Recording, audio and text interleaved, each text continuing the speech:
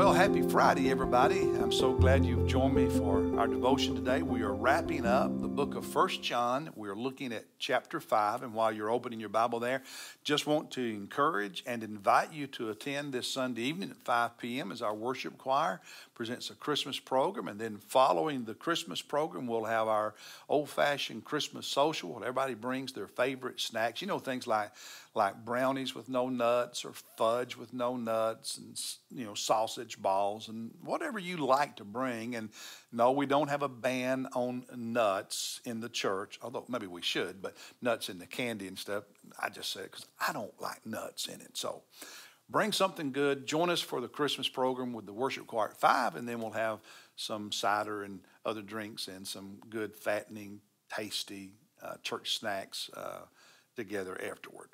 All right, First John chapter 5. And before I share with you a devotional thought, uh, I wanted to do just a little bit of, of teaching, help you understand something in here that either you just read over or some of you said, I think I know what that means, but I'm not sure. So let's look at that. It's verses 5 through 8. 5 through 8. Let's read that together. He says, Who is the one who overcomes the world but he who believes that Jesus is the Son of God? So he in, in this chapter earlier, he's talking about is Jesus the Christ? Is he the Messiah? And the only one who overcomes is the one who believes that yes, he is the Messiah, he is the Savior of the world. Now, verse 6. Um, this is the one who came by water and blood. What does that mean? Jesus came by water and blood. Jesus Christ, not with the water only, but with the water and with the blood. It is the Spirit who testifies because the Spirit is the truth.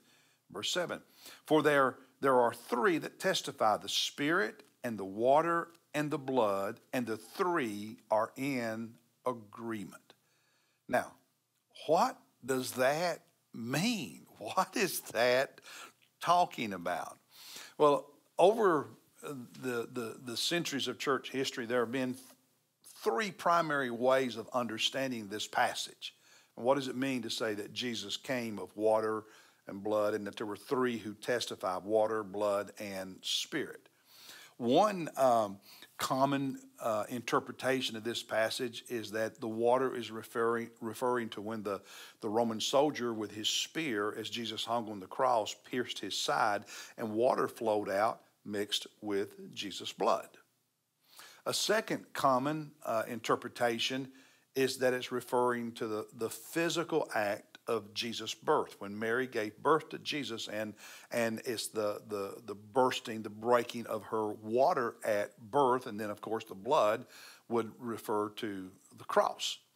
The third interpretation is that it's referring to when Jesus was baptized, the water is, refer, referring to when Jesus was baptized by John the Baptist in the Jordan River.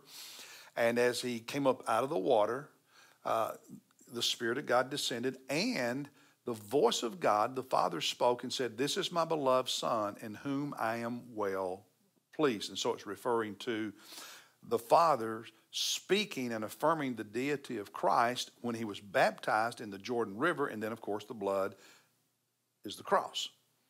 I tend uh, and none of us can say definitively, but I tend to think the third option is the accurate one that is referring to Jesus' baptism at the Jordan River and the voice of the Father saying, This is my beloved Son, and then the cross. Now, one of the reasons I, I, I think that interpretation is accurate is he talks in here uh, about there being three witnesses. And in the Old Testament, as well as in Jewish culture, um, you needed two or three witnesses uh, at trial to convict someone. That was the, the, the, Jewish legal system based on the Old Testament laws for the nation of Israel. Two or three witnesses. And what he says here, the question at the beginning of chapter 5 is Jesus the Christ, the Messiah, the anointed one? Is he the Savior? And the answer is yes. And just as in the Old Testament law, there are three witnesses the Holy Spirit, um, when he, uh, the, the Holy Spirit, the blood, and the water, the water being when Jesus was baptized and God the Father spoke. And it's really the Trinity. So you have the Holy Spirit is listed. The Spirit is a witness. Jesus himself is a witness by, by his death on the cross and shedding his blood. And God the Father is a witness when, when he spoke at Jesus' baptism and said, This is my beloved Son in whom I am well pleased. So I think that's what this is referring to. Um, now, uh, devotionally, what spoke to me is verse 3. So, real quickly, let's look at verse 3. He said, For this is the love of God, that we keep his commandments, and his commandments are not burdensome. And we can say a lot about that verse. One thing is that we show our love for God by obeying him, just as disobedience shows a lack of love. But what spoke to me is the last part of verse 3, where he says, His commandments are not burdensome. His commandments are not burdensome. Why? It's because we love Him. When you love someone, it is a joy to do for them. When you don't love someone, it's a drain to do for them. It's a task. It's a burden, if you will. It's a duty.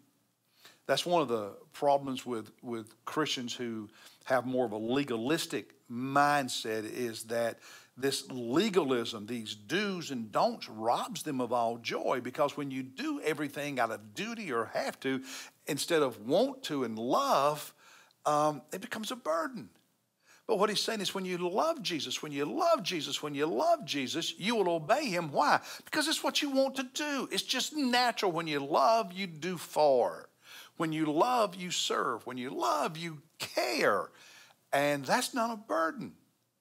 That's not a joy. It doesn't mean it's never tiring or taxing or challenging, but it's a joy. It's not a burden. And uh, so legalism, legalism is damaging on so many, many levels. Also, if you allow yourself as a follower of Jesus to, to, to fall in love so much with the culture and the culture's ways and the culture's pleasures. It's going to dampen your love for God and it's going to make your desire to obey God and His commandments diminish. And then you find yourself starting to argue with God. Well, I know the Bible says, but I think and I feel, and what about? Because you're trying to you're trying to find a way out of obeying God because it's become a burden to you. Why? Because you're not really loving God the way you're supposed to. When you love God, you obey His commandments, not because you have to, but brothers and sisters, because you want to. And, uh, well, that's the message for today. I'll see you Sunday morning in church. You be here one of our three services 8.30 9.45 11 o'clock and invite someone to come with you and then join us Sunday evening, 5 p.m., for the worship choir's Christmas program and bring your favorite Christmas snacks, whatever you want to bring. And homemade, homemade is better.